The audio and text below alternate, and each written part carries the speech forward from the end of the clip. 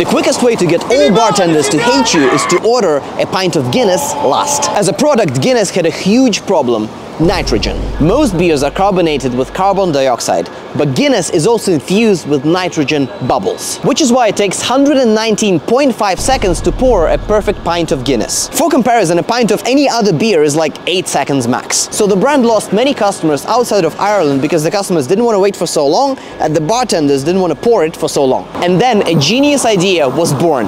In 1996, Guinness's ad agency launched a new campaign with one slogan, Good things come to those who wait and compared Guinness customers with surfers who were waiting for the perfect wave in a famous ad that was voted the greatest ad of all time. And this approach to use a human psychological bias that quality things take longer to make. So now Guinness customers patiently wait for their perfect pint and Guinness is the most valuable brand in Ireland.